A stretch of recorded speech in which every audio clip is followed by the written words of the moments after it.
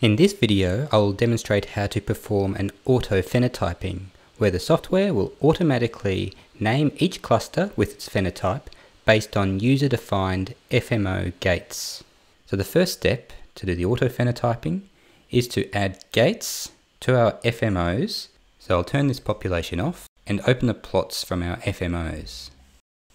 So the concept here is to open the parameter that doesn't include that particular antibody. So in this case, CD45.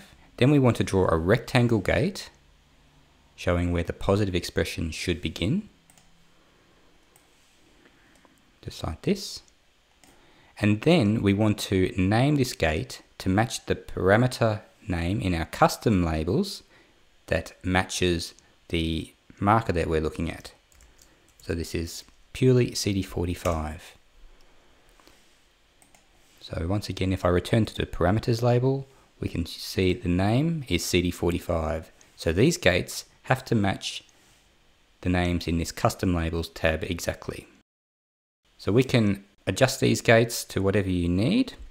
It also doesn't matter if you don't have an FMO, you can still place a gate on any sample named after the marker that you're looking at showing where positive expression begins.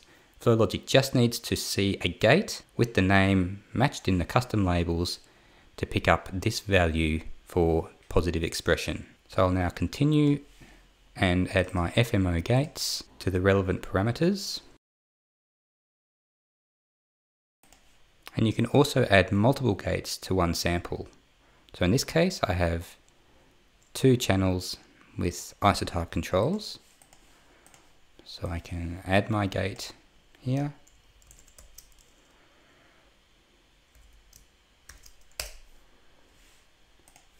Change the parameter and add my second gate.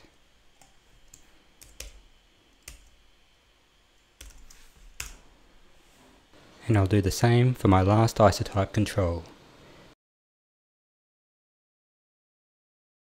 So now, here are all of my adjusted FMO gates. So initially I just created them very roughly. I've now refined them and confirmed that the names match. We do have two samples that contain two gates each. And if you want a quick way to switch between parameters, if you open the plot side drawer, you can see the two gates listed here. And if you just click on the gate name, it will switch the parameters to show where that gate has been created.